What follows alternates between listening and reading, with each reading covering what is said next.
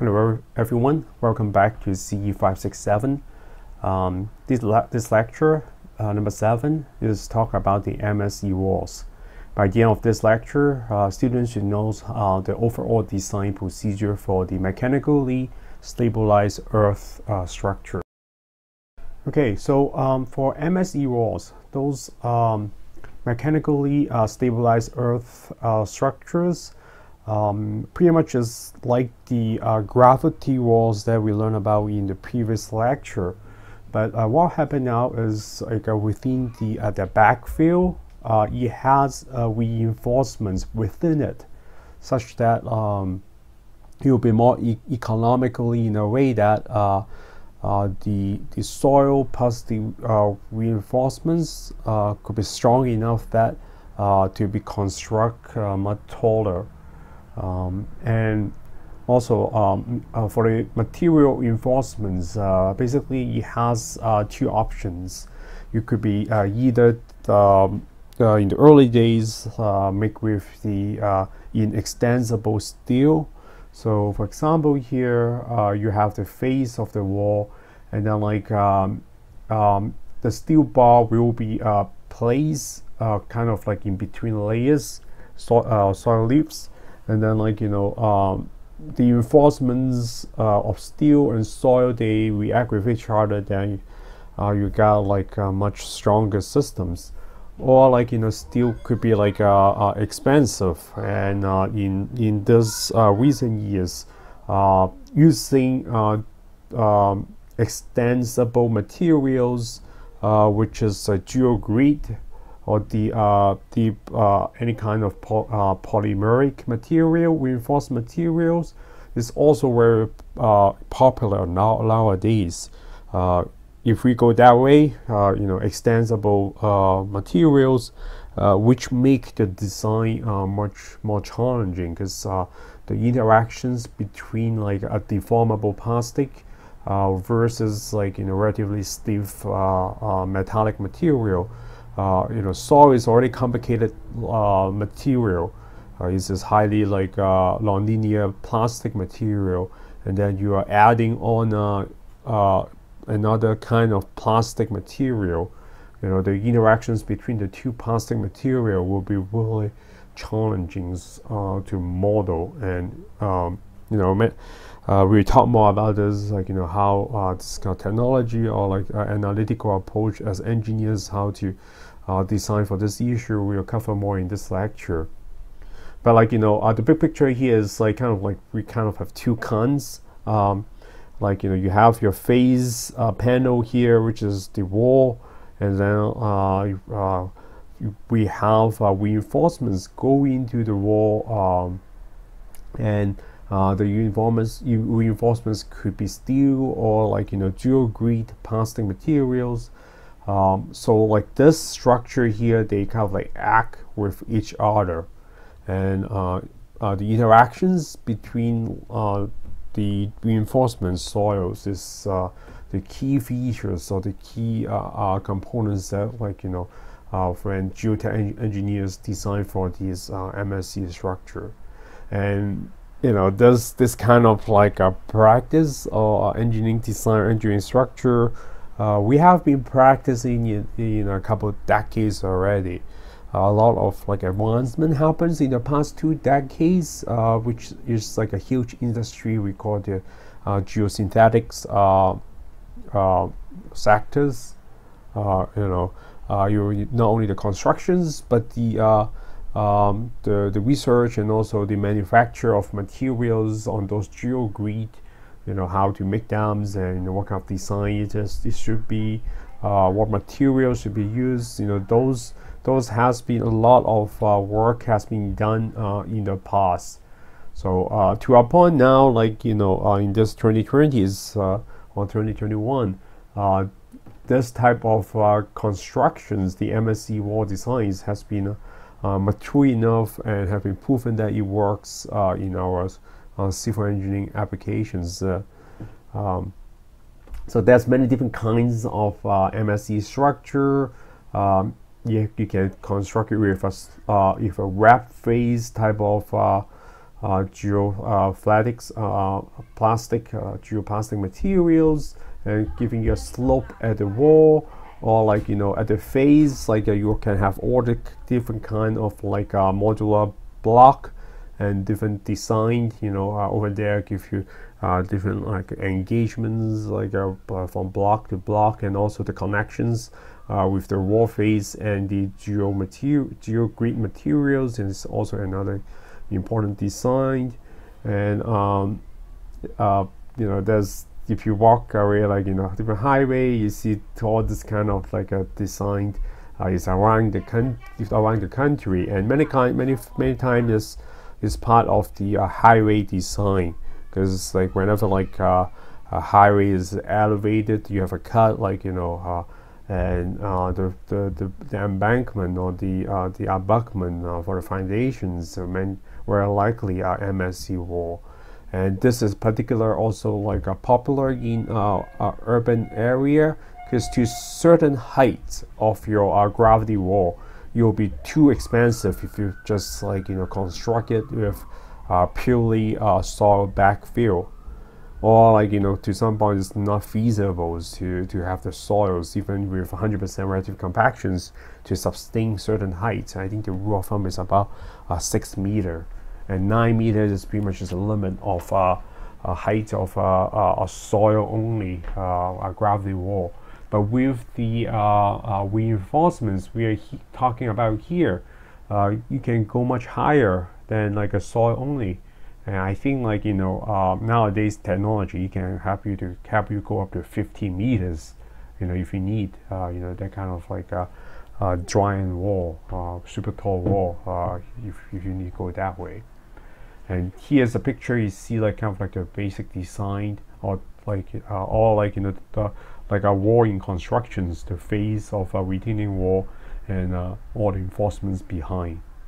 So this picture gives you uh, the uh, like you know a steel reinforcement wall that uh, take place in almost like half of the strength uh, century ago and it could be one of the uh, first uh, steel reinforcement type of uh, gravity wall or MSE wall reinforced with steel strip and um, this this could be probably one of the uh, the early one, early days that we have uh, well documentations uh, of this type of constructions. And you see the uh, the wall face right there and uh, you have the, the steel strip connect to the wall and the soils will be compacted within all this steel steel bar steel strip and in a way that the soils uh, is grabbing on the strip and then connect to the wall.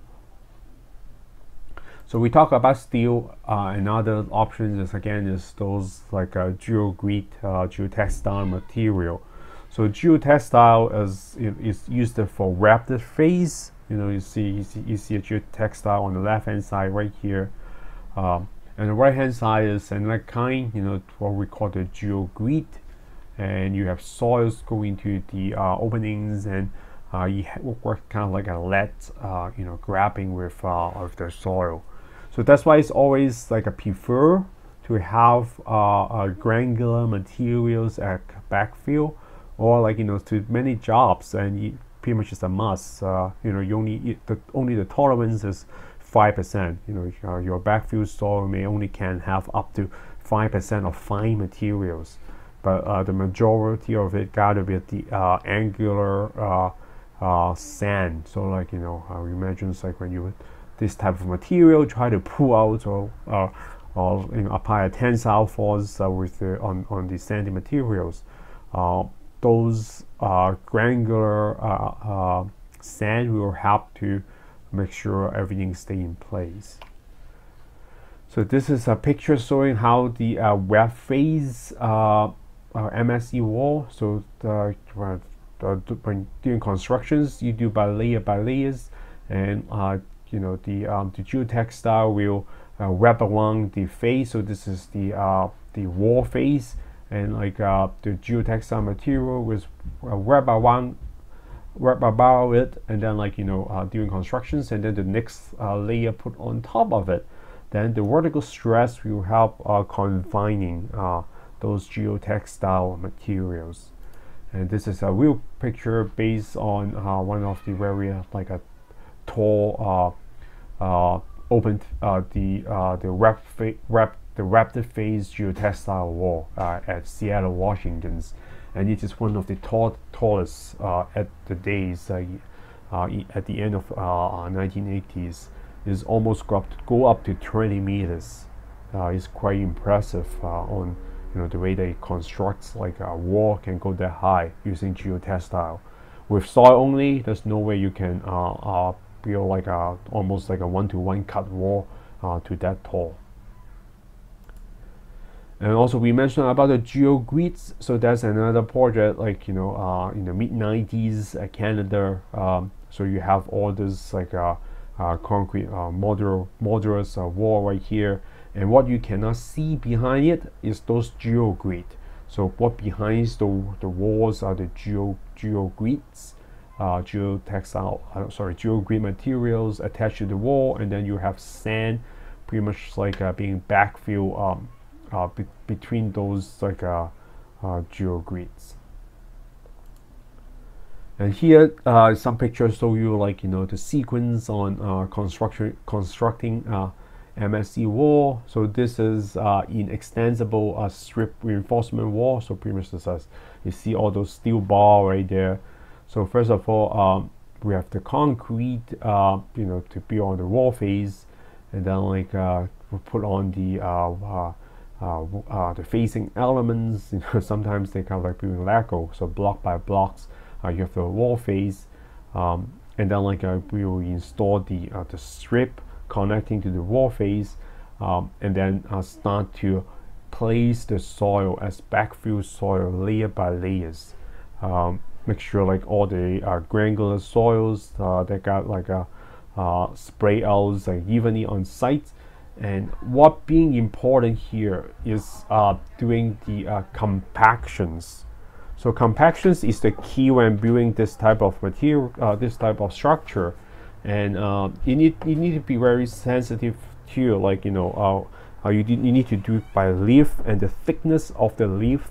Each leaf will be uh, highly specialized um, in the in the spec because it cannot be too thick. Otherwise, like if, if the leaf is too thick, then like uh, the compactions will not be effective.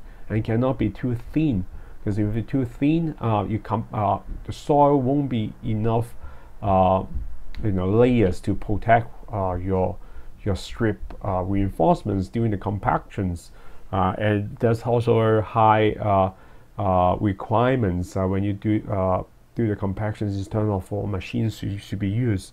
Uh, when, especially when you get close to the face, uh, you only can use those kind of like the handheld uh, compactor or vibrator because uh, here I have a, a sheep foot uh, compactor right there. This is for the back of the wall, uh, not at the close to the face of the wall.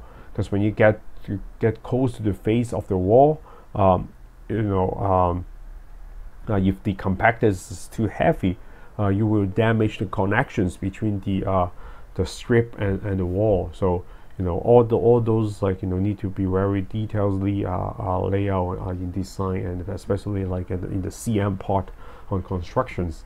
Um, and also like the compactors, even though at the at the rear side you you you you you, you rarely see like a very heavy compactions machines to go on site to do, do all this MSE MSE wall constructions uh, especially for those like a geo grid material, geotextile materials, because those like uh, very sensitive. You know, if you if you have heavy machines, yes, you can get it done quicker and faster in terms of soil compactions, but you don't want those heavy machines uh, to damage of your geogrid. Um, so here's also a picture to show you um, the the price of um, MSE MSE wall. Uh, as you know uh, the height of the wall along with the cost. So again, if you have gravity walls, like you will go to be really expensive. Uh, you know, the taller it goes, the more compactions, and you know, the, and uh, not only compactions, but you you got to have very angular materials, so like you know, as a backfill, such that like you know, uh, the sand can can uh, get uh, stable on, with each other uh, when you're constructing a soil only wall. But like with the reinforcements that you have, either like uh, expandable or, or inexpansible metal or using so those those synthetic materials, um, the height of the wall won't be too expensive or like you know kind of like stabilized like in with the the cost and also the height of the wall. So this type of uh, MSE wall constructions or technology is, is uh, in fact is getting very popular in the field of geotechnical engineering and um, uh, many geotechnical engineers actually they, they, they build their career uh, uh, based on MSE wall designs. Uh, the private con consultancy, you know, there's companies like focus on constructing or designing uh, uh, on this uh, business in this business. And if I imagine if you work for the Department of Transportations, they got you know each state I, they will have a group of geotech engineers within the Department of Transportations, Caltrans. You know they have a special group of geotechnical engineers just take care of the uh, the foundations of of all the uh, bridges, the bridges uh, state-wise, and uh, many of the bridge or highway actually is, is supported by MSE wall. And if you work for the um, uh, the uh, FHWA, the Federal Highway uh, Authorities, uh, they you know they have a lot of geotech engineers like uh, maintain you know take care, taking care of the federal highways and pretty much like you know main majority of work is this uh, MSE wall designs and constructions. Okay, so um, in conclusions on our introductions of MSE walls. Um, here's so your good pictures of uh, again like uh, recap all the components uh, that uh, MSE wall has. First, you have um, have a face. It could be it could be sloping at an, an angle, but uh, M MSE wall make it possible that you have a 90. Also very common that you have a 90 uh, degree vertical wall and um, pretty much and then like the whole reinforcements go in while this like uh, the reinforcements the reinforcements go into your backfill soils. So pretty much like a, uh, this part work together as a whole. So you you got uh, a reinforced earth structure. Um, so this is a little bit like a 3D picture right here. So uh, this whole block, uh, the idea is this whole block stay together. Uh, you have the face on the front and then the reinforcement go into the backfill. And uh, you have control on, um, so the main design part is like, you know, uh, what type of uh, facing you want to be and also what reinforcements uh, you want to be. Uh, it can be two main kinds again, right? The extensible and also the inextendable. Uh, the inextendable one uh, could, uh, be steel. So you have a steel uh, reinforcements, which is expensive, but like the good thing about it is is relatively more predictable if you use like in, extend, is in extendable materials as uh, reinforcements. Or the other choice, will be cheaper if you use material like a geosynthetic. You could be a geotextiles. Then you have the wrap face type of uh, uh, uh, MSE wall or geogrid. So those like uh, uh, plastic uh, polymer materials um, holding the sand, the backfills together. And again, the whole thing works as a block. And you have the control on the reinforcements and also the backfill soil. So, you know, you design, you know, what goes into this, this block, pretty much, you know, this is the whole thing you, you design for. And you will be sitting on, um, on the foundation soils. We talk about this, like, you know, the foundation soil will control the, uh, external, uh, stability, uh, of the whole thing. And like you know again like you know in design part we talk about this too how you know how what factors control the internal uh, stability.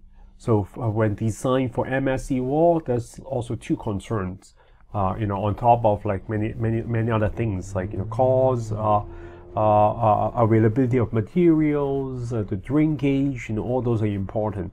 but engineer-wise, for geotechnical engineers, we take care of the uh, internal and also the external stability of this earth structure. And also we have like a third like a backfill material. So uh, this type of material here, you know, again, you design for it. Um, and also there's also some cut and uh, uh, you know plays also like or cut and plays also happen for this MSE wall design. So I would think it will be a quite interesting uh, engineering work. Uh, it's, again, it's a huge business. Uh, if you drive along uh, uh, even urbans or even like you know suburban areas, uh, supporting the highway or urban area, you have Uh, whatever slope uh, you know uh, you know in those BC BC downtowns area, you see MSE wall you know everywhere. So if you you know pay attention, it's like you know real soon enough you realize like you know you just when you have a 90 degree wall um, and you know have some earth material behind it it is an MSE wall so and especially if you go to some other places uh, around this world you know some more like a dense area and also expensive area somewhere like Japan like Tokyo or somewhere our financial district like Hong Kong you see a lot of like uh, those MSE wall, uh, uh, you know, uh, in, in the urban in in the uh, urban setting. So what good about what is the good thing about those MSE wall? Uh, you know, compare with the uh, gravity wall that we learned uh, previous in the previous lecture.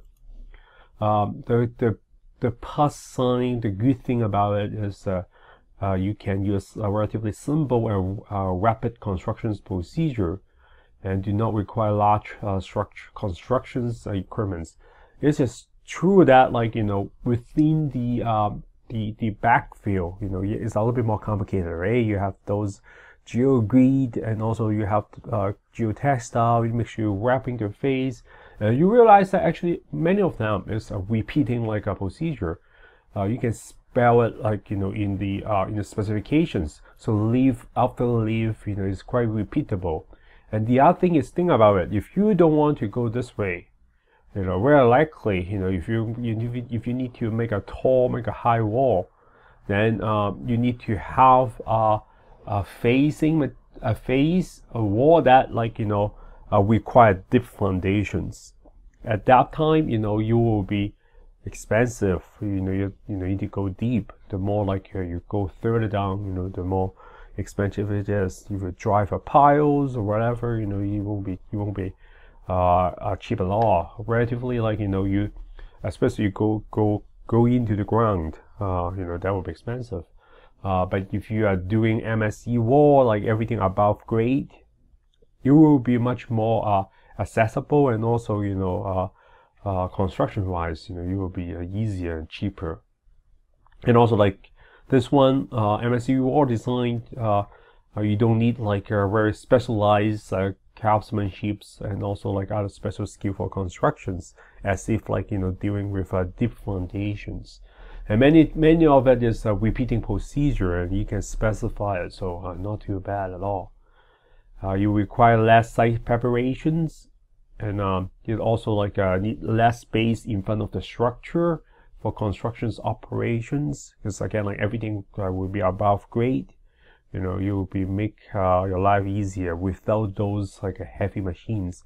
So think about it you need to like mobilize uh, um, a dual weight uh, to could go to site for pile driving you know uh, have mobilizing the heavy machines the the, the the, the hammer, the diesel hammer, get on site, you know, you need to make sure like, you know, you have a lot of uh, space uh, just to have the uh, diesel uh, hammer uh, to transport on site, you know, that, that could be a nightmare uh, or very expensive in terms of constructions management already. Rather than like, you know, you're doing everything above grade now, then much more lightweight. Um, so reduce like a wide of way uh, acquisitions again like no heavy equipment relative less less uh, heavy equipment uh, make life much easier and you don't you do not need the rigid and yielding foundations uh, now like you know uh, you don't need like uh, uh, deep foundations make your life easier. And MSE structure uh, especially for the geogrid type of uh, or geotextile type of MSE structure you can take more def deformations because the, the, the, reinforcements those are ex extendable. So uh, usually you have more like a tolerance in some of displacement for MSE structure, which is a good thing. Uh, usually it's cheaper uh, for doing MSE walls, and also uh, now uh, it is technically feasible to go as tall as 25 meters, and in some case, like in, there's some case history, uh, MSE wall were built, it will be like ex extremely challenging, but it, it happens that uh, some K history, the, the walls can go as high as 50 meters. Uh, how about how about the disadvantage of MSE wall? Well, first, like uh, they require relatively large space behind the wall. So uh, if you work on a, a job that like you know uh, you you have a rock slope or like you know you don't have the property of ownerships uh, extend into the wall. Then or like you know other like structure right behind the wall then you know uh, you have a, uh, foundations right there to blocking you then um, MSE wall is not would not be feasible. And also uh, M MSE wall again like you know uh, this require the interactions between the backfill soil and the geogrid or like whatever like reinforcements. So it's always preferable or sometimes it's a must to have a granular material such that like you know the the the, the uh, uh, uh, the uh, angularities will help you to grab on uh, the engage with the reinforcements. So uh, if, you, if your site is there's a lack of granular soils, then you know you will be expensive. You know to the case that you know sometimes like you know transportation costs of the uh, uh, granular material may be even more expensive than uh, building a deep foundations for your gravity wall. In that case, you may want to go for the uh, gravity wall uh, without any reinforcements, because just because you don't have a uh, uh, accessible uh, uh, granular materials. And also like uh, you need like a, a, suitable design criteria to adjust corrosions of steel if you're using steel. You know, steel is always like, you know, trouble when there's a water. So you need to be, be careful on that.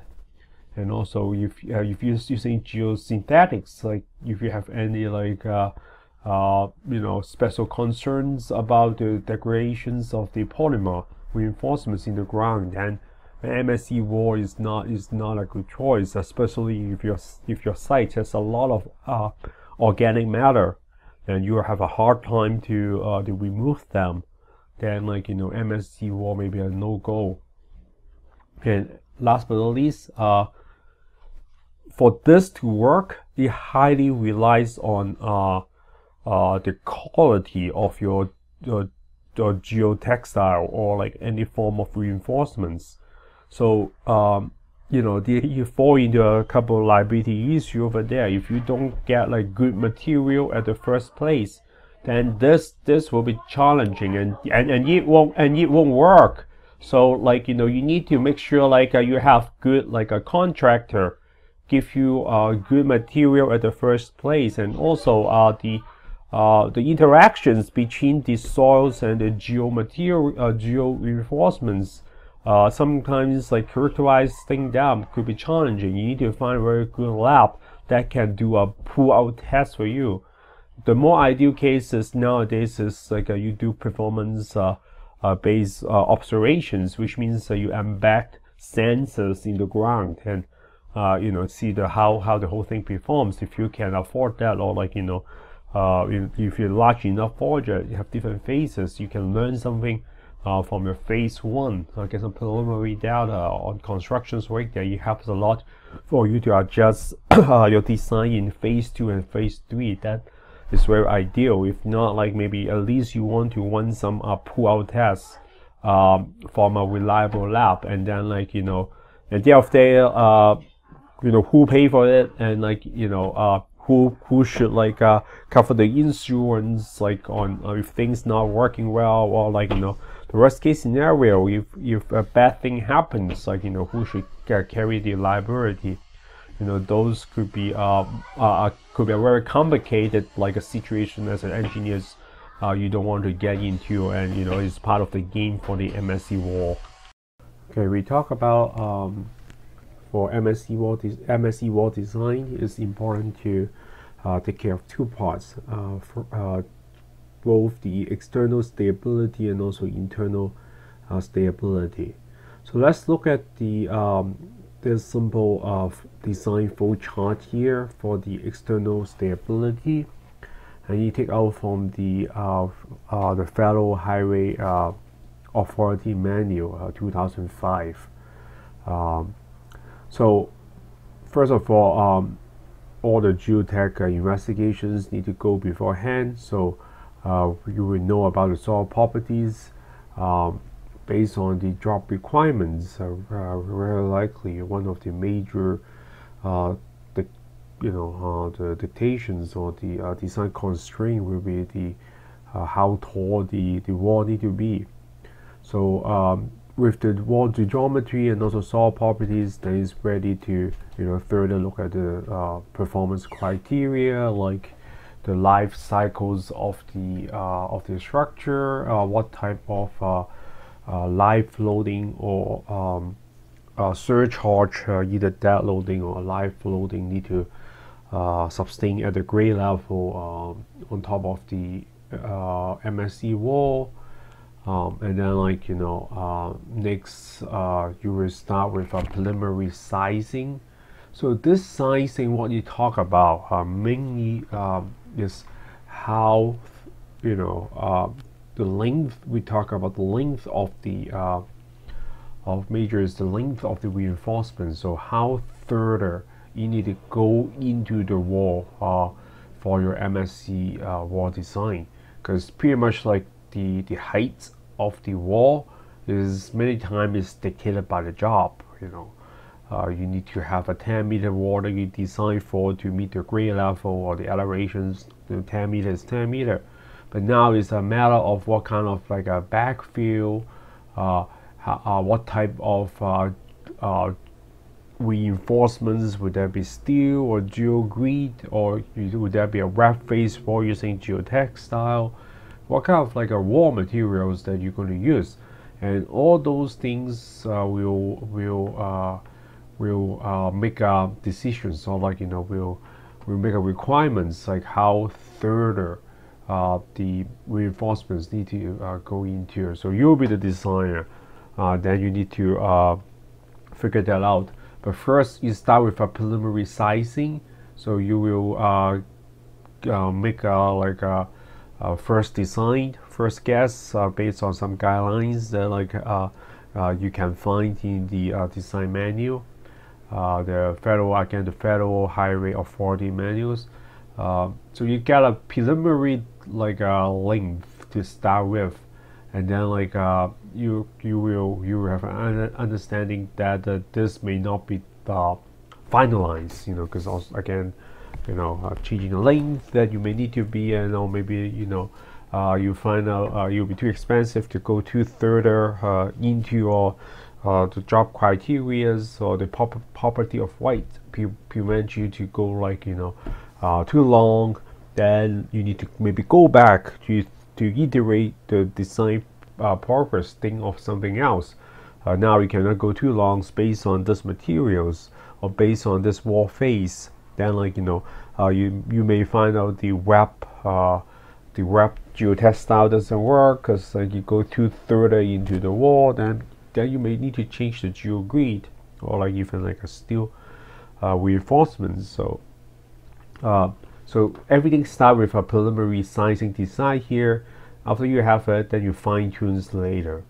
Uh, the next, uh, well, this like a preliminary sizing is uh, not only applied to external stability. Next, we talk about the uh, internal uh, stability you will be related to.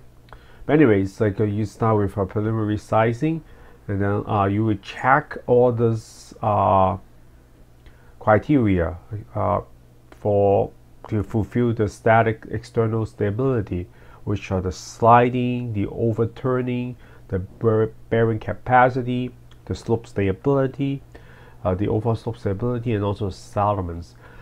Uh, the slope stability will be covered by other classes, so uh, and uh, you know we only have a couple weeks here for this MSE wall design, uh, so uh, we cannot talk cover all topics. So at least for this lecture, I will leave the slope stability, you know, belongs to the CE566 and also the settlement, you know, uh, we will talk a little bit more of further in details for CE566.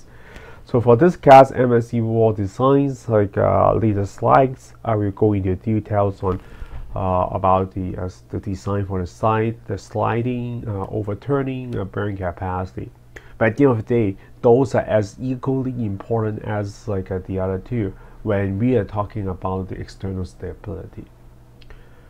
So uh, after like you know uh, uh, you check that like a preliminary sizings fulfill uh, all this uh, criteria, then you will be the reinforcement length that you're happy about at least for the external stability. And if anything like it doesn't work here, you need to go back to change your sizing and you know some worst case scenario you may need, even need to change uh, uh, again like if this is like if, if the reinforcements you find out like uh, uh, you can afford that to be like that long because many times like you go further into like uh, outside your property of weight then like you need to change maybe the phase and also change the design for the phase and also change connections and also change or maybe change the filling materials. Uh, last but not least, if you are uh, practicing in California, you also need to check the seismic stability for MSE wall. MSE wall. Uh, I don't think we have much time to go in details uh, to talk about soil now and also talk about uh, seismic stability for uh, overall for earth structure design uh, maybe like uh, at the end of semester I will put some guidelines on recommended readings uh, it seems like uh, we may not uh, able to afford another lecture to talk about uh, seismic seismic state. Okay, how about the um, internal um, stability? when we really zoom in and look at the case that how the soil and reinforcements interact with each other, uh, we soon enough uh, realized this is a really complicated uh, phenomenon. Well, um, first of all, you have the the soil uh, uh, particles. It, it, was under the uh, it is under the um, the normal normal stress, so it is pushing against the reinforcements, and which create frictions. And when like you know when this part this uh, part of the uh, reinforcement connected to the face, the wall face, which means like uh, when the wall try to in active conditions, try to pull away from the soils or try to being like in a mobile, mobilized away from the soils, it create a pull out force on those reinforcements, geogrid or um, a steel bar, whatever it is. So you try to pull the um, the reinforcements out of this soil and uh, this uh, phenomenon create like uh, frictions um, and we are smart we're engineers. And you know uh, we, we want to design our reinforcements our man-made materials uh, provide the best performance to stabilize or prevent uh, you know the pull-out actions to be happens. So when we design for the geogrid or either like a geotextile or uh, uh, even the steel bar, like you know, we will make uh, uh like a geometry that uh, you know you have a li little bit like a hump here, so you will provide a passive resistance when the uh, geogrid or, or reinforcements are being pulled out. So we, we, we learned that from the uh, co um, the coefficients of uh, Earth coefficients, right? Uh, we learn about the active, and also we learn about, about the passive conditions, and uh, you know in between is the rest. Uh, the horizontal stress that create from passive conditions because when when like you know uh, when when your structure or this case like you know at micro size uh, you have a little bit of uh, uh, man-made material push against the soils create a passive uh, loading conditions which is the highest stress uh, higher highest loading uh, it could be like almost it could be like a 10 times uh, higher to the active conditions and maybe three to five times higher than the uh, at rest conditions. So you create a much higher resistance like you know uh, at this uh, for this like um, uh, geomaterials uh, uh, provided by those grid and uh, grid and also uh, uh, textile geotextile materials. And that's what we want. So those are kind of like the geogrid uh, on this design here. And here's another like you know um, geogrid here uh, where you have all this like a square and all this like a kind of like a net right here so the horizontal bar here the horizontal alignment create the path again create the uh, passive uh, conditions uh, when uh, the, the reinforcements is being pulled out uh, when you attach to the to the, the, the wall face so that's that's that's the basic idea of a geogrid. And internally, like uh, what we worry about is uh, the stability. If like this geogrid break, or like you know, or the soil fell internally, the you know the the, the MSE wall will fail uh, when it's subject to a high enough loading. Where's the loading come from? The loading very likely could be from the uh, surcharge. Uh, uh, at the top grade. You know, um, many many many cases this may be uh, supporting like a, a highway or uh, supporting any like a, a, live load or dead load. You know that is above uh, the the the top level, or the top grade of the wall. So if you keep loading on it, uh, you know eventually uh, uh, either externally or internally will fail.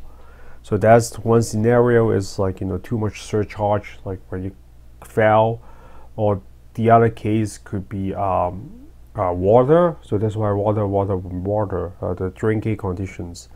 Uh, you know, if you have a water build up internally, then um, uh, you will de decrease the effective stress. And we learned that uh, in in our undergrad class, the C366, um, the Mohr Coulomb uh, envelope tell us uh, if the vertical effective stress decrease, then so so does the soil strength. This is described by the Mohr Coulomb uh, uh, envelope of Mohr Coulomb like a theory. But anyways, um, so um, the water could cause like a failure, and also uh, uh, other than those like a static loading or hydrostatic uh, water pressure change of it, um, it also may be like a seismic when you have uh, uh, dynamic loading when earthquake happens. Uh, so that's why California is very important. Uh, MSE wall design in California will be much challenging in some way in the East Coast because uh, in California you have the seismic design uh, you know on top of those static requirements.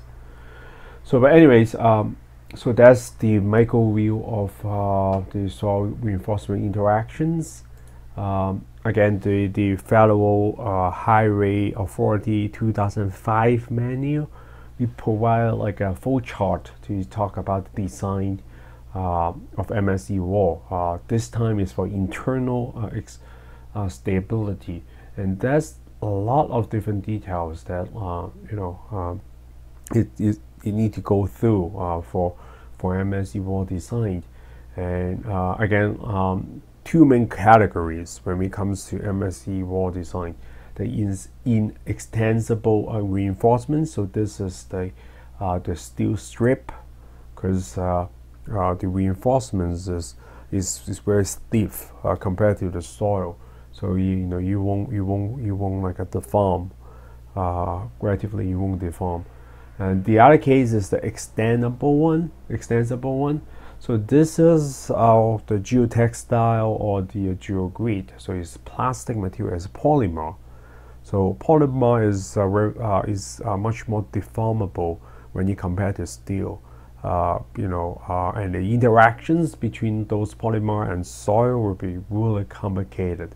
So we talk about all this micro behavior. You know, if you have two very complicated material that uh, interact with each other, is is a nightmare. is is is extremely difficult to to uh, to model it. So you know, we talk about some uh, simplified uh, uh analytical analytical procedure uh, later in this lecture. And very likely, if you want to capture this uh, accurately, you, you need a 3D finite elements or, or at least at least 2D. I think 2D will do the work uh, for for for many cases too. Um, so a 2D finite elements or finite difference model that you know allows you to input uh, 10 or 20 uh, parameters for each material to describe the uh, nonlinear uh, plastic you know stress strain relationship for them. And also stress not talk about stress dependence. And nowadays we even look at uh, thermal dependence like uh, properties. So all this uh, complicated uh, like material interactions you know come together. So but anyways you were really complicated. Um, so that's why this simplified quote unquote simplified flow chart. You see many uh, components right there each of them. Uh, we need to, we need to look at the uh, uh reinforcements uh, load calculations. Uh, we think about what is the maximum loading scenario connections to the are very important the backfill you know how how does the backfill affect the performance of the wall and also uh, the stress uh, by um, you know uh, translate to the reinforcements and what is the maximum tensile stress that like those reinforcements can handle. So all these components like are required and then like you know once me meeting all these requirements then uh, from the uh, preliminary um, uh, design on the length of the reinforcements, then uh, we can adjust or we can finalize uh, the length that required to uh, stabilize against the pull out. And at the end of the day, like you know, you also need to think of the uh, facing element for the stress at the wall face. So that's that's all come together. And um, again, we only have like a couple of weeks on this topic. You know, this top, you know, engineers can build their entire career on this topic or like you know if you go to a, a more uh, comprehensive uh, graduate program um, like the one at Texas Austin they have a one class they have one class just talk about one entire graduate level class the whole semester just talk about MSE wall design the geo, geosynthetic uh, geos, uh, geosynthetic uh, uh, applications you know. But like here like you know uh, we have limited time uh, so out of this full chart we will focus on a couple of them. We'll talk a little bit more. Particularly the most important one is how to determine the maximum tensile stress for the reinforcements. And so so that's this is important that the federal highway manual it has detailed documentations on how to come up with it and uh, intensive research. You know, this is a very hot uh, research topics uh, uh, still ongoing in these two decades. try to find a better method or design procedure. That's the research about on how to model the interactions between soil and geogrid or geotextile. So this is another table um, from the uh, Federal Highway Authority Design Manual. Uh, this one a little bit more updated from the 2009. So all those manuals are available on Canvas. Uh, feel free to to read it and have a copy, so you may help you in the future. Uh, you know when you come across come across a job that uh, related to MSE uh, wall, and and I bet you like you know there's a lot of different projects uh, as long as you uh, you know uh, work as civil engineers you will come across of this type of reinforced earth structure. Um, you know even though you, you're not specializing in geotech and specialist specializing in uh, this business. But like you know uh, very likely civil engineers like you know you make you know you know in your a career a lifetime of career or you know soon enough you may come across uh, with this topic uh, in, in uh, any uh, any kind of degree uh, you know get involved.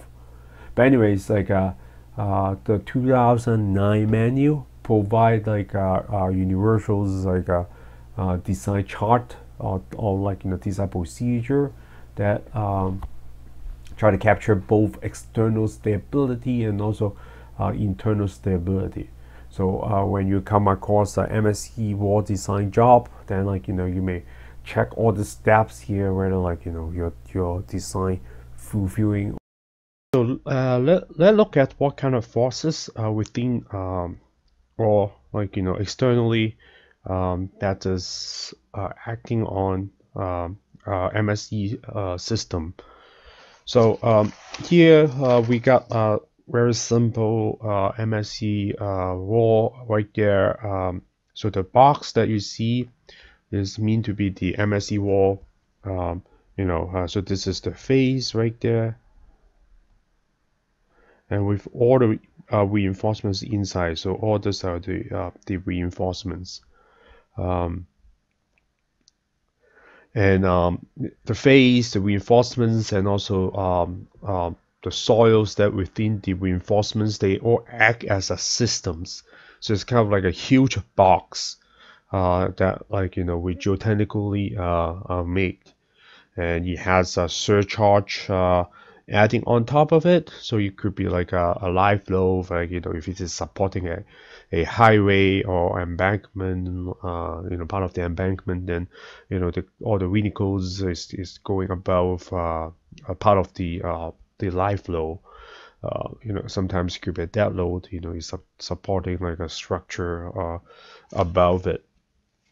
So, uh, and behind the wall, you have the uh, and uh, you know uh, native or, or, or some of the backfill soil extended, uh, you know, into our cut or fill up our cut.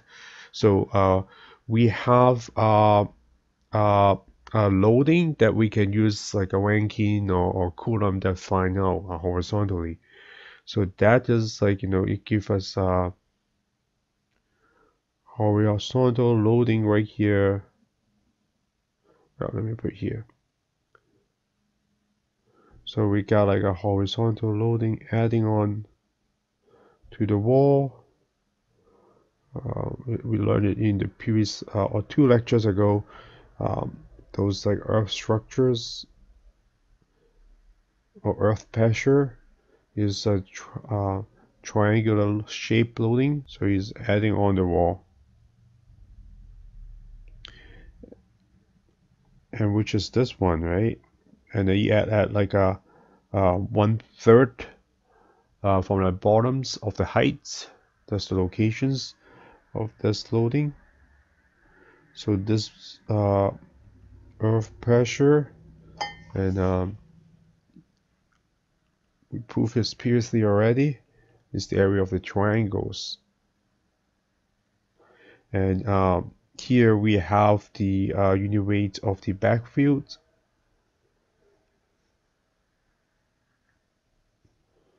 um, times the height squared so pretty much is the um, area of the triangles.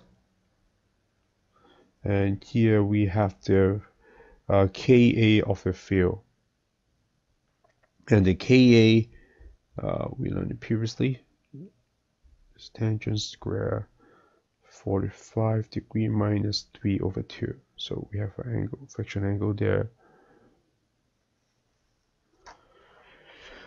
so we have this uh, loading uh, adding on uh, behind the wall and also we have the loading from the surcharge. So we have another loading from the surcharge. So let's call this to be uh, our first uh, force number one. And force number two is from the surcharge so there's there will be another loading from the surcharge. And it's a uniform loading so it's, it's a rectangular shape. Oh this are the uh, loading that uh, we designed for the MSE wall to sustain. And since this is a rectangular shape so uh, the force will add at the midpoint. So this force here from the surcharge. Again is the area so it will be equals to the surcharge times the height and also the Ka and uh, this let's call this this uh, force number two. So we have two like horizontal force like uh, adding on the wall because of the surcharge and also because of the uh, you need to sustain the, uh, the backfill soil behind it. And um, also we have the force that go like vertically downward because of the um, the weight of the backfill so let's call here uh, the the soil here is the reinforcement. So the unit weight of the reinforcement soils pretty much against time the area. So this is like uh, the weight uh, kind of like the unit weight times the volume. So we got the force. Um, the force per unit length uh, that's what we got. Uh, so this is the unit weight and then times the area. So we got the uh, force per unit length uh, into and out of the, uh, the page of the paper. And we have another force that is acting uh, from the surcharge. So the vertical force number two will be equals to the the distributed load times the length of the uh, of the uh, uh, retaining structure. And if we sum all the force from the vertical directions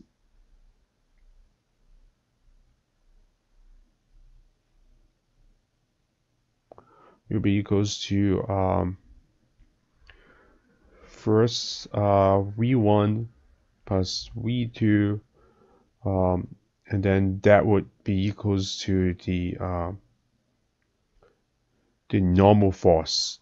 So here's the normal force that's uh, adding upward. So this weight here is equals to v uh, v1 the weight of the uh, uh, reinforcement soil. Um, so um, you we have the or the, the weight of the total like a reinforcements. You know, you got you have soils and also you have uh, mainly of the soils and uh, uh, the, also the geotextile and geogrid, which also account in the unit weight of the reinforcement systems. So um, that is the uh, vertical force and um, this normal force that like a react from the ground will be away from the center because the whole thing is not symmetric. Uh, you know, you have a wall face that, that will be heavier and then it's kind of attached it. So we have all the reinforcements right there, right? So you have like a heavier face, so that's why uh, the reaction force uh, will be uh, uh biased to toward the face, and you you have a eccentricity right there and uh, it's part of the design that we need to make sure this offset will not be uh, too far away from the center. Otherwise you will suffer from a, a overturning uh, a failure. But anyways um, so the whole thing you know uh, will react as a as a stress box right here with the dimensions of the uh, L minus 2 times the uh, eccentricity. And the center of it is uh, of the stress box uh, will be the uh, uh, the normal force or the resultant force vertically, and this is a, a, certain distance away from the away from the center and also like you know uh, we also need to check sliding so you know we're also expecting a frictional force uh, at the bottoms from the uh, foundations soils the frictions between the foundation soils and also the uh, reinforcement structure. Okay, so let's look at um, the uh, the details of external stability. Um, in the previous slides, uh, we specialize uh, all the uh, forces adding on the MSE structure already, and also uh, we talk about uh, uh, the overall design chart for external stability. We look at you need to look at the sliding, overturning, bearing capacity, and so forth and so on. Um, so here we let's uh, look at the issue of sliding uh, eccentricity, uh, which also like related to overturning. Okay, so uh, first about sliding. So if we look at the sliding, the factor of safety of that will be uh, need to be at least uh, greater than 1.5 per the uh, authority of uh, highway uh, agency and like uh, again like you know they uh they they are uh, the, one of the driver of the huge uh, markets in the United States. But if you go to practice elsewhere or like you know you have uh, uh, uh another clients that other than the federal government, then uh, beware the factor of safety requirements will be changed, especially like you know you practice uh, in other part of this world. Uh, so the factor of safety for sliding will be equals to the weight and then the tangent phi. So this is will be kind of like um um um the uh frictions coefficients and then derived by the summations of the horizontal force. So the factor of safety of sliding, uh, we and we read that like on the vertical loading, right? Uh, so this event essentially is the vertical loading, vertical loading on the top part, which is the resistant force. Uh, we don't count on uh, the surcharge because many times uh, the surcharge uh, uh, could be a live load and if it's a live load then like uh, it can be there uh, like you know uh, not all the time. So uh, in case you'll be absent in some uh, scenario like you know you cannot count on the, the for example you cannot count on the weight of vehicles like uh, driving through the highway because you know most of the time it's not there. So for the factor of safety sliding the resistant part on the top pretty much we just uh, count on the uh, the vertical loading. And this tangent phi is the uh, foundations, the, the frictional angles of the foundation soil. And the driving force will be those horizontal force. So will be the uh, uh, the uh, F1 and F2 we talked about previously. So we plug in the informations there. So this is the vertical loading times, uh, which is like a dead weight right there, the uh, times the tangent friction angles, and then plus the summations of the two horizontal force.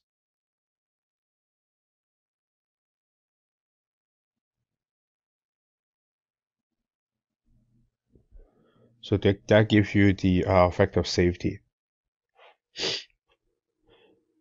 Uh, for slide against sliding. And the second part, uh, we'll be checking the uh, eccentricity.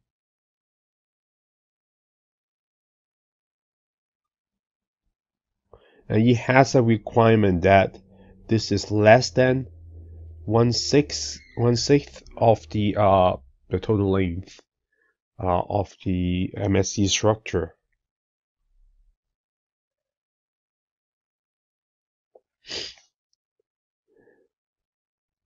And this can be calculated as half of the dimensions minus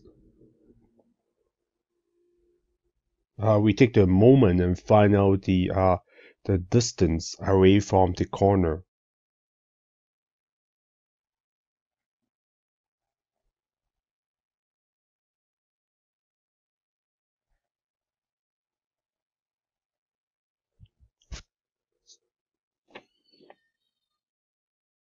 so pretty much we are taking moment at this point at the corner of the uh, of the uh,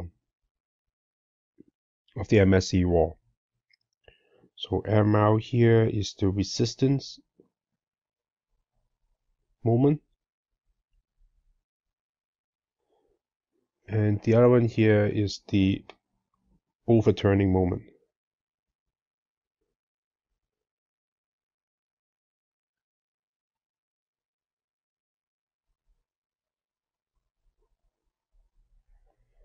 If we do our math, uh, we calculate the both the uh, resistance uh, moment pretty much pretty much come from the uh, the vertical loading. So this, be very careful. With this could be uh, you know, the V2 part uh, again is the uh, the live load. You know, uh, many times we don't want to count on it because we cannot be sure it's always there. So be very careful on these terms. Uh, be very careful on these terms. It could be equal to zero. Um, and then minus the uh, the driving force, which is the loading behind the wall.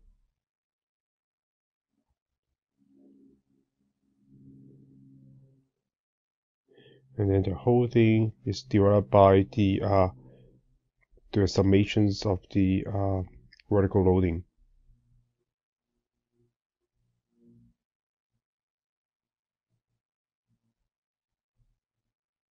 Again, this will be optionals, whether you want to count on, count on it or not. The third one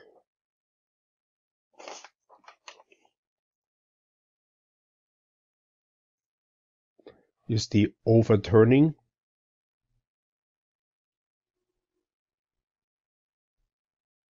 So this one, the factor safety required greater than um, 2.0.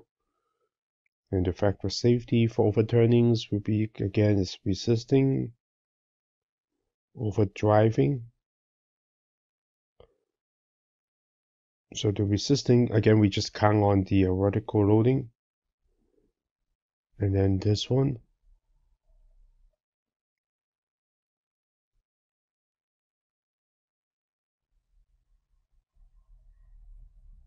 will be the driving.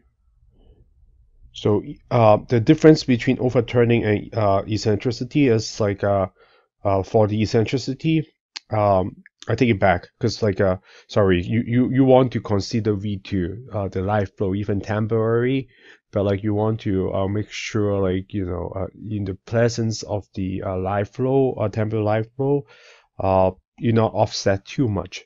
So you want to consider the uh, eccentricity uh, when you calculate, you, you want to consider those temporary live load when you calculate the eccentricity. But when you calculate the overturning moment, um, then you don't want to count on the benefit of those temporary uh, live load.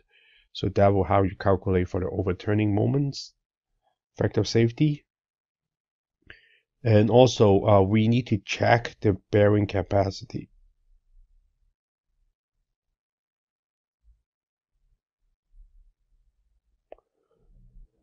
So the verticals are loading. So this is from the uh, loading demand will be equals to uh, the summations of the vertical force V1 and V2 and then divided by uh, the area. So this is pretty much the force divided by the area, and the area we just consi considered uh, one dimensions. So you can again it's per unit length into and out of the page. So divided by the length of the stress box that like uh, we anticipate like the reaction force uh, will be acting on the wall uh, at the bottom of the wall so that would be the uh, vertical stress and uh, the factor of safety so again this will be in pounds. Uh, so this will be, be uh, pounds per unit length. And for um, the calculating the effective safety will be the ultimate uh, soil capacity. So it, kind of like again like a shallow foundations again. Uh, we don't spend too much time here to go back to our foundation design, but like using those uh, uh, analytic, analytical form like the Vesic, uh, Vesic uh, solutions 1975 and 1976 would help you to find the uh, the ultimate uh, soil capacity and then derived by the uh, the loading demand that we just calculate vertical stress and then make sure this is greater than 2.0 and on top of that we also you also need to check its settlements and and also the overall uh, slope stability for the site. And those like we will need to ref, uh, refer back to C566 right um, internal stability design. Um, the current uh, internal state stability design highly driven by uh, some spec, uh, largely from the federal highway operations, um, because uh, they are actually they are kind of like the largest uh, owner uh, of MSE Wall in the country. So many design is driven by them, and also they are the one that give our research money. So the different institutions, research institutions, uh, mainly universities, uh, did a lot of like uh, state of art type of research, uh, try to advance this technology and like you know end up will uh, improve the design. Uh, and it has been like uh, for internal, uh, you know, uh, finding the internal stability or like a better way, a better design to to capture what actually happens for for that complex uh, uh, interactions between geo uh, grid or like you know any like uh, reinforcements and soils you know it's, it's, it's very complicated and to a point that like you know uh, the current the current like uh, state of art type of a design procedure is on the conservative side because uh, again like you know if you just use a simplified analytical approach uh, it's really hard to capture the complex uh, behavior of what really happening for the soil reinforcements like interactions. Anyways, like uh, the current inter internal stability limit state design as documented in in those design manual, uh, I uh, the two main references I put on uh, on Canvas already. So those are from the federal highway authorities and one is from 2005 and 2000, the other one is for 2009. Uh, those like a design mainly based on variants of cast type back uh, active wedge method. Uh, it has the particular load in wall uh, which has been uh, empirically adjusted to match uh, measure values under operation conditions. So it's, it's like a, a, few key terms over there. First is like is this is empirically adjusted.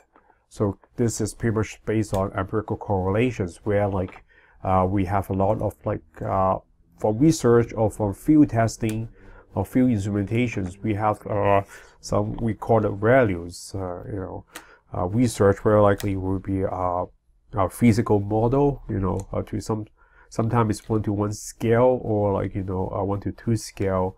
that like we mimically construct in the lab with all the uh, uh, uh, instrumentations and also well-controlled environments. So you keep loading those model tests until you fail. So we get good data. And then after we have the data, then we can establish like analytical solutions empirically to correlate what we predict and what we measure.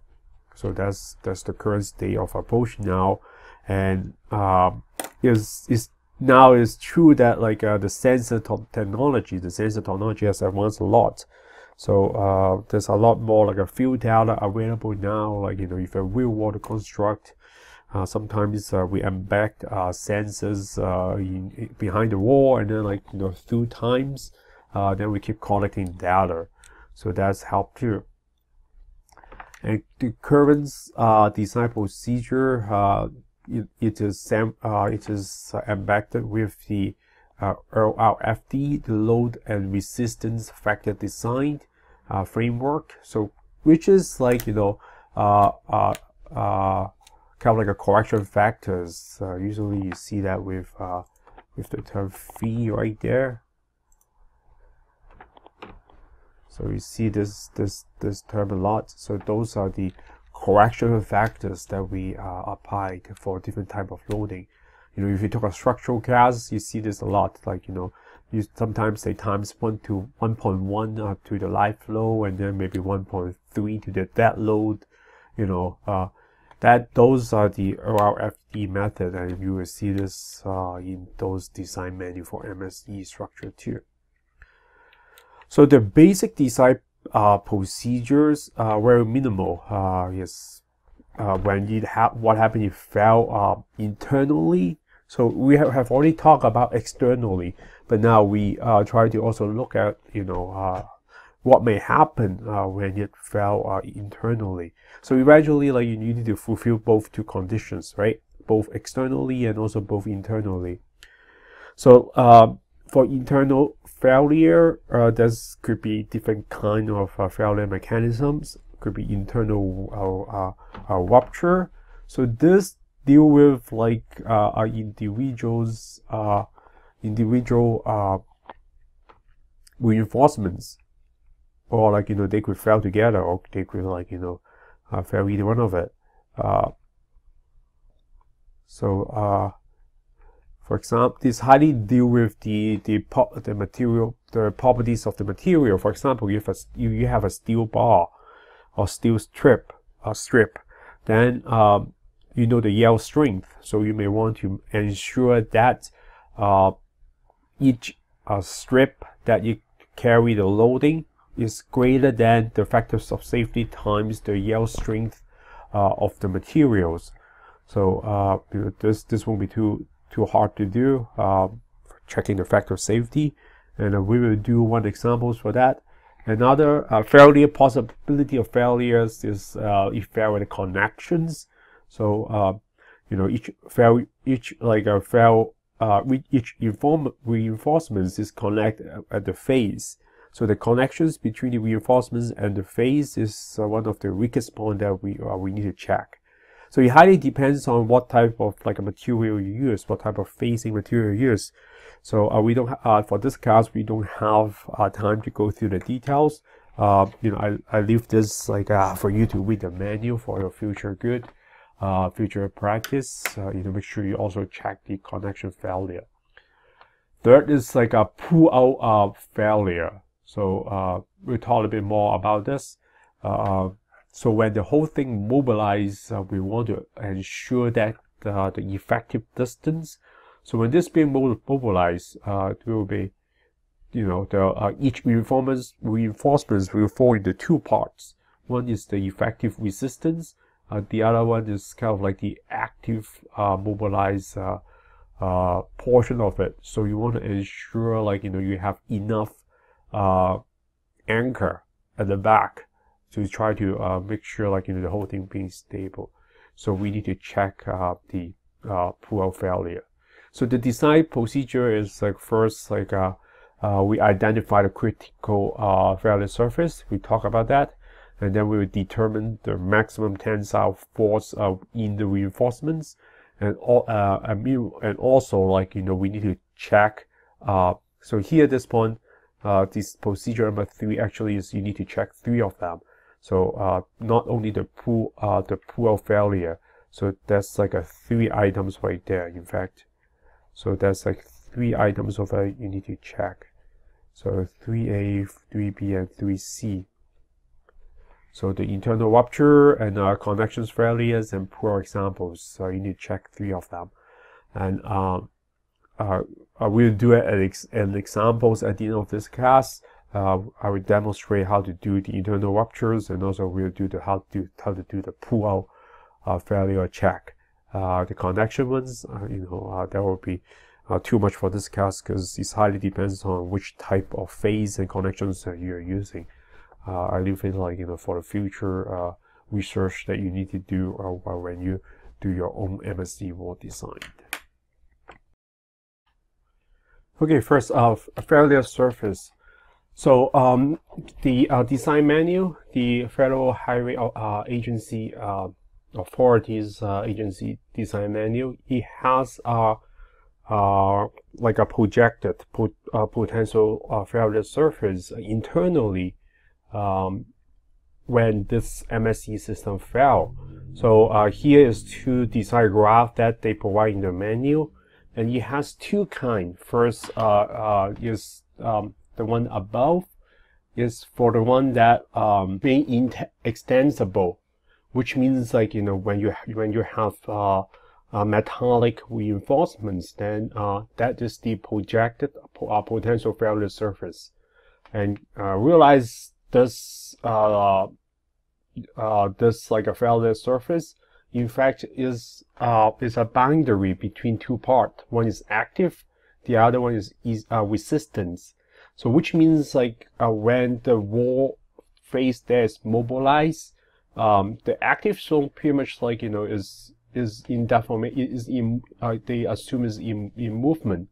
So which means like the frictional force uh you know uh between the reinforcement and soil has been consumed already. So what it relies on is the um the later part, the resistance zone.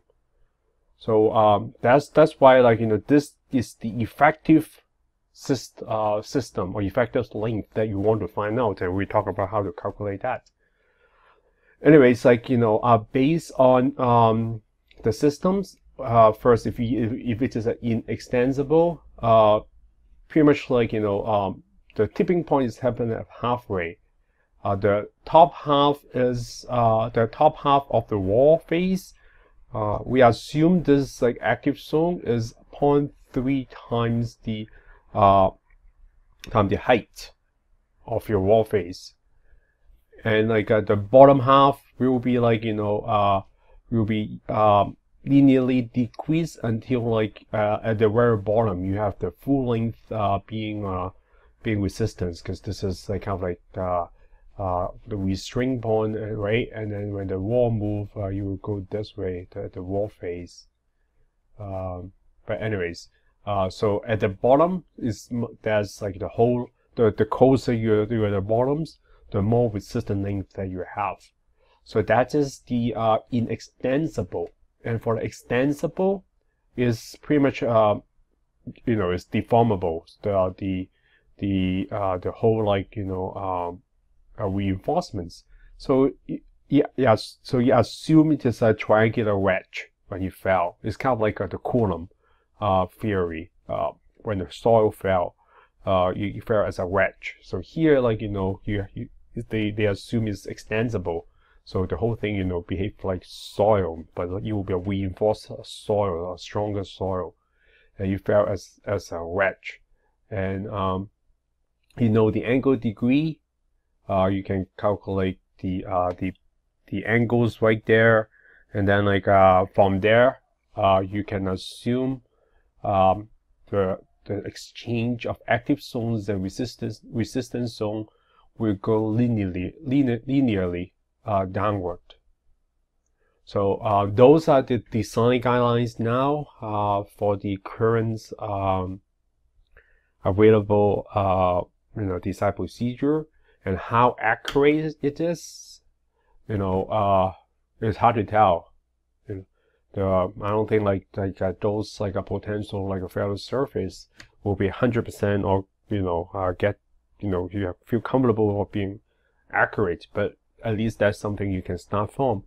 And uh, I think like a research research has shown that uh, uh, for the uh, geogrid type of uh, or the uh, extensible reinforcement type is really hard to predict uh, the failure surface. This one, you know, is not too bad. Uh, the inextensible one, because again, steel is uh, or metal is much more predictable materials uh, than than those like a deformable uh, polymer. And uh, those like a geogrid or geotextile, geosynthetic type of materials really hard to predict. Ongoing research is still going on, and um, there's uh, more work has been done. A lot of work has been done recently, and maybe in, uh, very likely uh, in the next five to ten years, like there will be updated design guidelines other than than this two uh, design chart on the uh, pot potential failure surface uh, to be available. Okay, next uh, is the um, tensile load on the uh, uh, adding on the reinforcements. So here I show you uh, a very nice, um, very nice uh, picture. Uh, demonstrating uh, how how it is calculated. So the Tmax. So the Tmax is the expected like a loading, uh, adding on the reinforcements um, based on like a simple uh, calculations. Um, so again, like uh, the loading, we assume that you won't only be effective at the resist resistance zone because previously we you know we identify uh, through the um, the expected failure surface uh, uh, we identify two zones one zone is um, is the active zone so it, it has been mobilized. So like you know the frictions right there is already is, is gone so only like the L sub E the later part uh, that, that has the resistance and if we look at this like along this distance so at different elevations like you have different like uh, uh, length of it. Um, and if we look at it, you know, you have a vertical confining stress. So, you know, the whole thing is frictions. Uh, so you have a vertical stress compressing uh, the soils and the um, your reinforcement. So this is the vertical stress. Um, so the equations for this uh, formula is uh, S of V times K sub R times the vertical stress. So this is the vertical stress is uh, you take account into the unit weight of soils times the depth uh, z to the point of the uh, reinforcements and then plus the surcharge. So, uh, you know, it depends on whether you want to count on it. Uh, you know, if you believe like you can count on the surcharge, then, um, or actually this is the designed. So this is the loading demand. So there's two, two parts of it here. When you're calculating the resistance, then you may not want to count on the, uh, you know, the temporary or sometimes there, sometimes not, uh, of surcharge. So if you're considering the, um, the, the resistance, you don't want to, to, to rely on the surcharge. But the loading part, you know, to be safe, you need to consider it, even though like, you know, you only be there 10% of its lifetime. You know, it's only for the case that, uh, the live load, uh, uh, for highway uh, you know, you have a heavy trucks to drive by. But like, you know, uh, but this is the loading part. Like, you know, it's, it's there, it's there. You don't want to be like at that moment, uh, the presence of the uh, heavy truck to fail your uh, MSE wall. So, so the vertical stress, you also consider the uh, the surcharge. So you got the sigma V. And um, it is times uh, K sub R. So what is K sub R? So this is this like the um, the coefficients of earth pressure. So these two come together is your horizontal stress.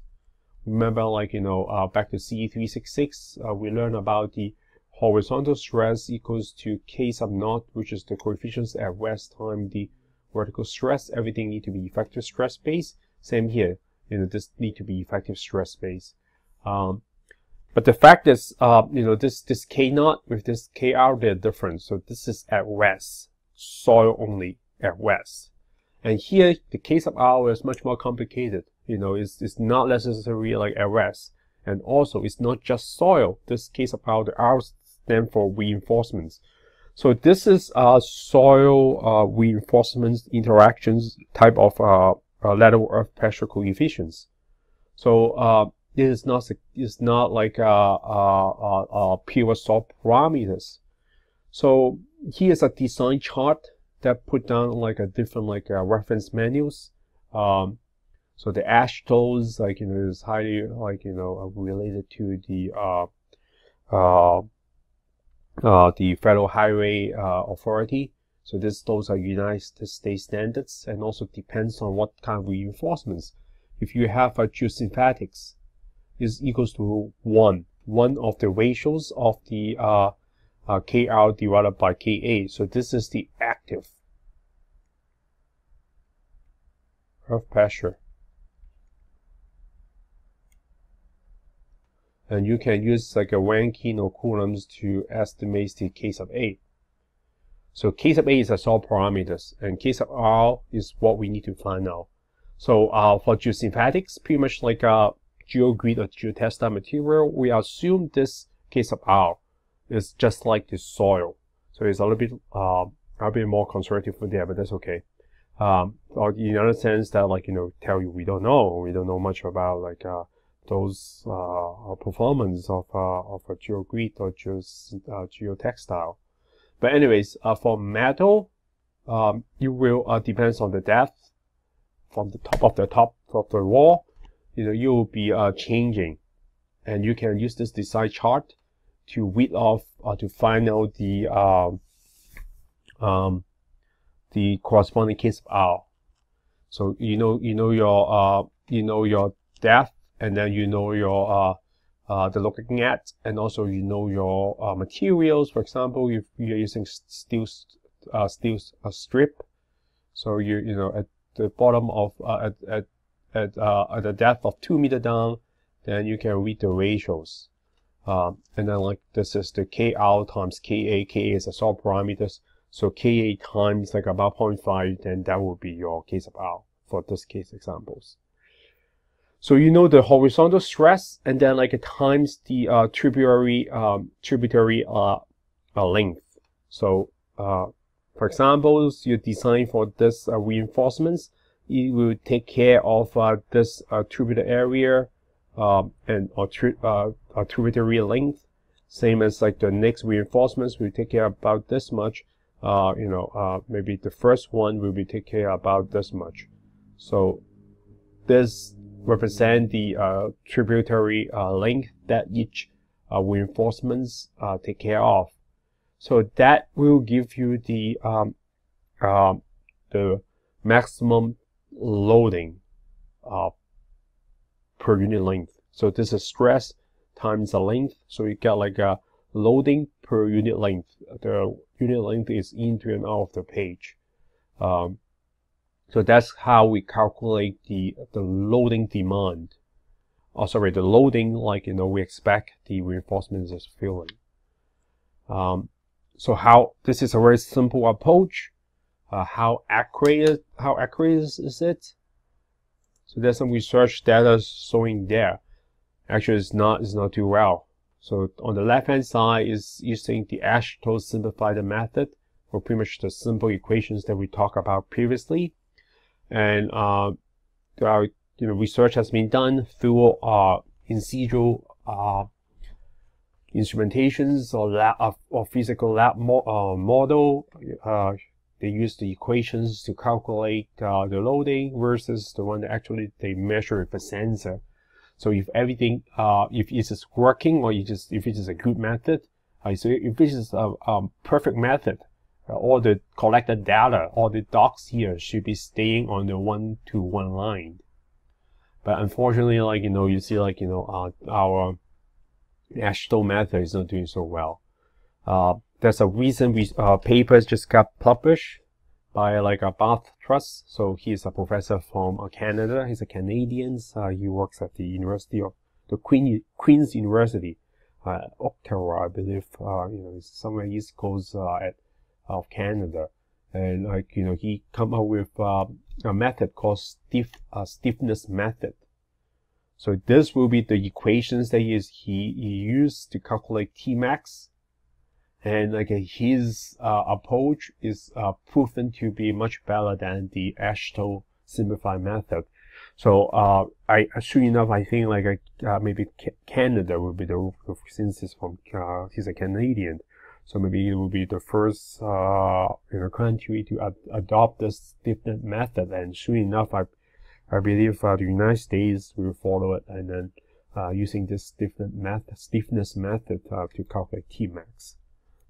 Um, and I upload the paper from from from uh, this offer on Canvas. Uh, it, just come out like uh, maybe a couple of weeks or one month ago. So feel free to uh, to to read it if you're interested in. Also, you want to further uh, know learn more about this business. Um, so that pretty much is uh, you know we see like uh, where the okay poor failure um, so this is uh, one of the three types of uh, failures, internal failures uh, that we need to investigate. Uh, remember, right? We have three kinds. First is the um, is like the internal rupture, and uh, that need to deal with the yield stress of the reinforced uh, elements. Um, the second one is the connections uh, failure is, is, is, is highly um, depends on uh, what type of connections uh, uh, you're using. So that one you need to investigate like a case by case. And here the third one, the pool failure, you we will have a more universal framework uh, established to handle different type of wall face and also uh, a type of uh, reinforcements. So here, this equations, so the basic framework. So pretty much it has two part. Uh, so this is the uh, resistance, and this is the loading.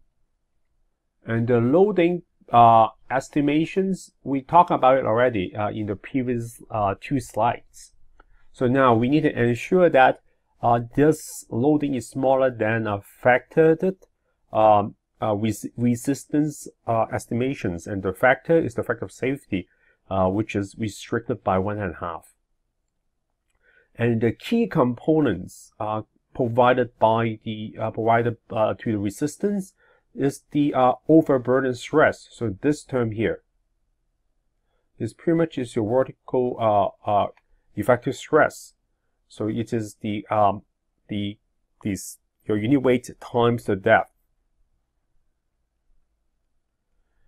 And it, it can it can be it can be including distributed surcharge. It must be that uh, the dead load only.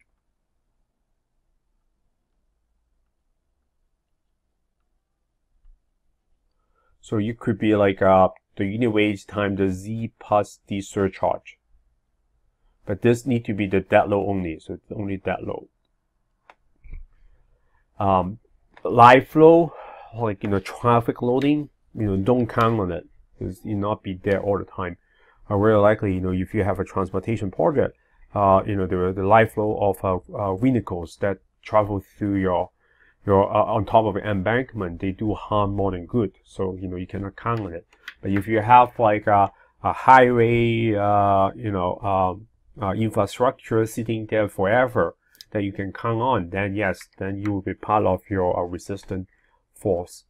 And then like, you know, you will be a punch of different like correction factors. So first of all, this, uh, this L sub E is the length of, um, uh, em uh, embedment of the reinforcements in resisting zone so we talked about this already, this L sub E, right? This is the same as the previous slide.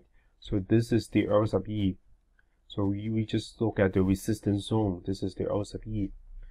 And also a bunch of correction factors. Um, the F point, uh, sorry, the F, the F star is the poor resistance factors. So you have, uh, um, there's a lot of like, uh, uh, uh so this uh, poor resistant factors, uh, you know, go back to the 2000 design manual to 6.8.2, uh, um, and it depends on a lot of different like uh, uh, scenarios uh, for that one. So if we go back to our 2005 uh, manuals, go to um, the relevant chapters. So you'll be here. So when we talk about all those um, uh, reactions or interactions between soils and reinforcements. And this F star is the poor resistance. Uh, it will be depends on um, a lot of different materials. You know, if it's a steel, uh, then you know you have some uh, simple equations there to estimate that. Or if it is um, other materials uh, like geogrid uh, or steel grid, you can still use those. But those equations there and uh, but for like uh, geotextile or like uh, geosynthetic materials, then uh, you will have other uh, estimations uh, here. So um, when you come to uh, estimate f sub star, uh, you may want to go back to your design manual. And alpha is the scale correction factors um, and the L sub C is the coverage uh, ratio. So, you know, this picture here show you a very good uh, illustrations on how to calculate L sub C. For example, if you have a, uh, a steel a strip right there, you know the um, the length of its strip and it's from center to center. Uh, the L sub C is the uh, pretty much is the the coverage uh, uh, area by the steel divided by the uh, cover area by soil. So that is the um, uh, R sub C. So if you have a geotextile and uh, you know it has continuous like a layer, then this uh, R sub C ratios will be equal to one. Um, and the capital C is another correction factors is equal to two for strip, uh, grid, and uh, sheet type of uh, reinforcements. So with all this like correction factors and like you know knowing the factor of safety you want to be at least to be 1.5 uh, if you reorganize the equations uh, we can back calculate what what is the uh, minimum uh, L sub E you need uh, to define uh, you know for your MSE wall. And you can use this to compare with the simplified you know design chart right there uh, which like you know uh, in some case if you find the L sub E uh, can be smaller than that uh, what you recommend or it helps you to back calculate you know calculate this L sub E help you to help you to calculate what is the length that you need. Because this like a L sub A you can use those like a design chart to help you to find and how long is L sub E then you can use these equations so you know L sub A from this design chart, L sub E from these equations, then it helps you to estimate what is the total length of reinforcement you need uh, at the, you know, and then compare with the very, very uh, original like preliminary uh, design that you have. Remember, like uh, we talk about those design chart, uh, we always uh, start from preliminary sizing, and um, for that case, well, those preliminary sizings, uh, you may want to revise or you may want to uh, consult with, uh, you know, those simple calculations, see whether you, you know, you're over designing. Because at the end of the day, uh, you know, you, you, you don't want your project to be like a, a super conservative that like, you know, end up like, uh, uh, is becomes super expensive. So, um, this L sub A, pretty much like, you know, you can use these equations to estimate based on here. So this is the uh, extensible uh, uh, chart for GeoGrid and geotextile. So for metallic reinforcements, you know, those are the equations that we use. So this is uh, uh, in, uh, inextensible. So this is the metal uh, reinforcements and this is the extensible for GeoGrid and GeoTextile when it comes to the L sub A.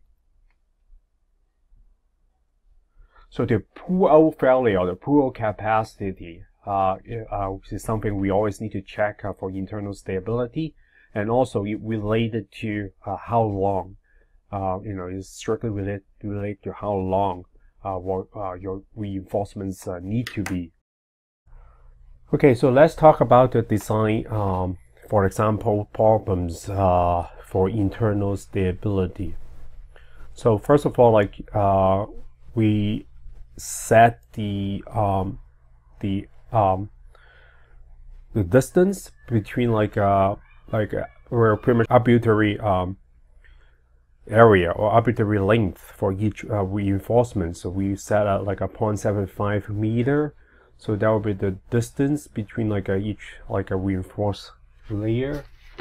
As we can see here.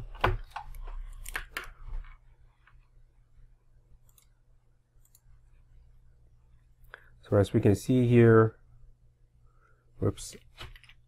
So this example problems, example problem. So uh, this will be our reinforcements. And uh, we set like uh, the tributary uh, distance here for each reinforcements to be S of V so 0.75 meters. And we know uh, and our our field the unit weight for the field is like 18.8 uh, kilonewtons per meter uh, so that will be kind of like uh, the unit weight of our backfill soils. Uh, we know the surcharge is 10 kilopascal.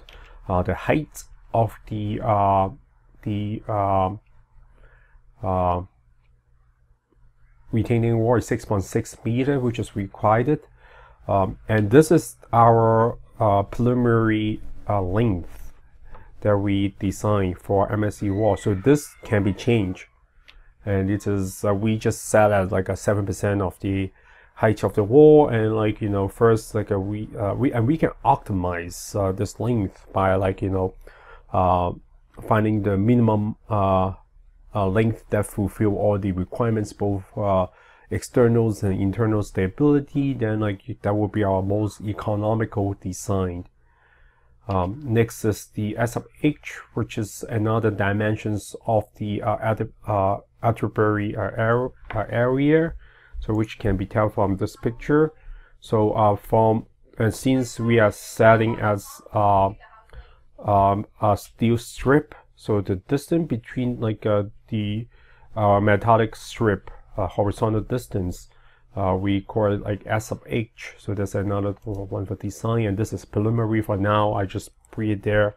Um, and uh, we can change that.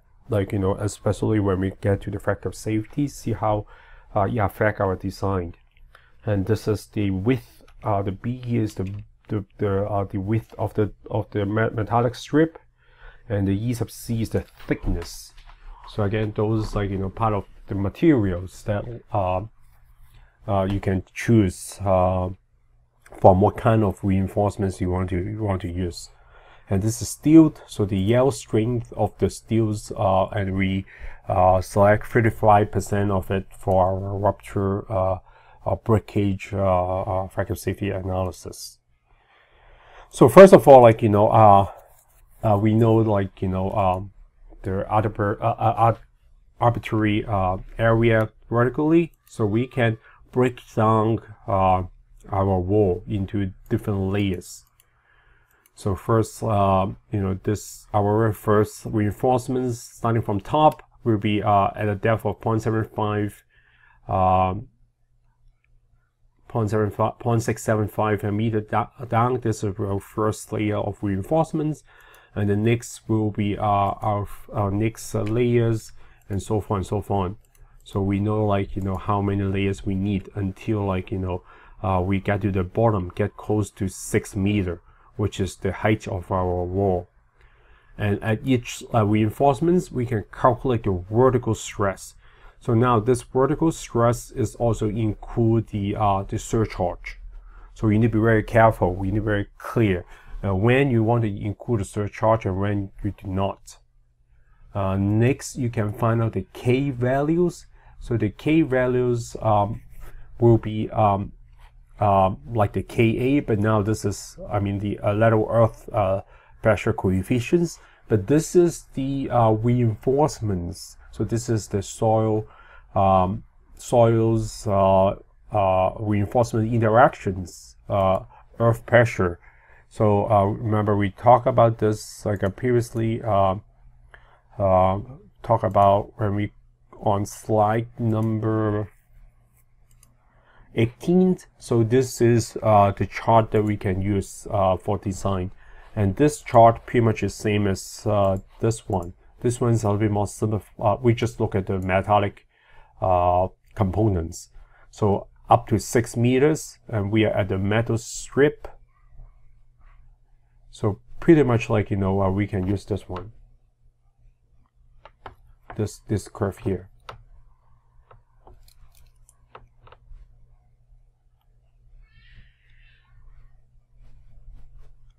And um, and realize this is uh, k over ka. So at different depth, uh, you find the ratios, and uh, we know ka, so we can calculate ka. Ka will be um, we calculated uh, at the beginning already.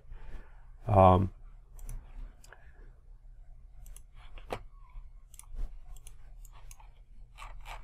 So we have defined Ka already at the very beginning is 0.33.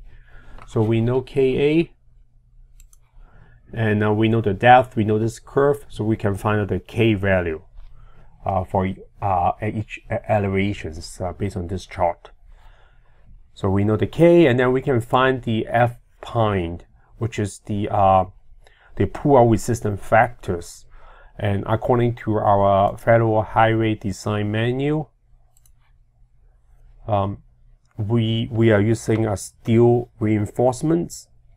So we use this equation here. 1.2 plus like a log C sub u, and C sub u is the uh, coefficients of uniformities, and uh, we are choosing C sub u equal 4 at this time. Uh, we don't know the uh, the backfill uh, at the design time, so we're using C sub u equal 4 as preliminary uh, uh, design. So uh, we find our uh, F star, the pull-out resistance factors, um, and the horizontal stress is equals to the uh, K factors times the vertical stress. So we know the horizontal stress. And we can find out the L sub E. So L sub E is the effective length. So we can find out uh, L sub E based on this design chart because we use steel. So this is the design chart for inst uh, inextensible uh, uh, reinforcements. Um, so from this from this chart, uh, we know uh, L, and then like uh, we can find out L sub A based on this recommendations. Then we can find out the L sub E. So L sub E at the first half of it is a constant. So pretty much this straight line right here. And then you will be uh, increasing down the depth. So uh, this is how we find out L sub E uh, from with this the help of this the design chart and then we can find out the uh, P sub r, which is the um, um, the uh, the loading. Uh, that for for that layer, what is the loading demand? Uh, horizontal loading demand. So which is the horizontal stress times the uh, the uh, the tributary area, and then times the factor of safety 1.5. So that is the uh, the loading that we expect for each elevations. Uh, and then with that, uh, we can uh, we know the loading, and then we can find the uh, number of uh, metal strip that we that we need. So which is the the number of like a strip that we will need will be equals to the the loading that we just calculated divided by the horizontal stress that uh, we calculate. So from there. And then like uh, uh, we round up the uh, the number that we got. So we got the number here, and then like uh, we can calculate the uh, this is the uh, tensile stress uh, in each strip. So from this tensile stress right here, we know the horizontal stress and also we know the number of uh, uh, strip that we need so we can calculate the tensile stress uh, that go into each reinforcements. And uh, the factor of safety will be equals to the yield stress of each uh, elements or each like reinforcements divided by the loading. So this is uh, you know the resistance for the materials and this is the loading and that is the factor of safety. And also, so this is pretty much like uh, the first criteria. Remember, like uh, for uh, internal stability, there's like a three items uh, we need to check. First is the breakage of each uh, uh, materials or each reinforcements. So which relate to the yield stress. You know, we just calculate there. The second one is the connections, and we are not doing here because connections will be highly specified uh, based on like uh, you know um, uh, the contractors and also what type of uh, wall face that you're using. And the third one is the um, is the pull out uh, failure. So we calculate T max here, uh, which is the loading part. So the T max equations uh, we talk about in this slide. And then like uh, the pull out capacity, we talk about this slide. So the resistant part is uh, take care here. So this is the resistant part that we calculate and uh, we have the cover coverage ratios. We assume alpha equal to equal to one and uh, so on and so on. And then we calculate the T right there and uh, the of safety be between like uh, uh, the resistance and the loading. Um, and we have uh, all of them have a ratios greater than 1.5, both the breakage uh, and also the pull out, so which is good. And you know, after you do that, like uh, you realize you can, if you want to change your design, you know, you can play around with the spreadsheet that you create, and like you will see how sensitive on, you know, if you change like uh, those parameters, and um, so this like the example is calculating the internals uh, stability, and our I can upload the spreadsheet to Canvas for you to take a look.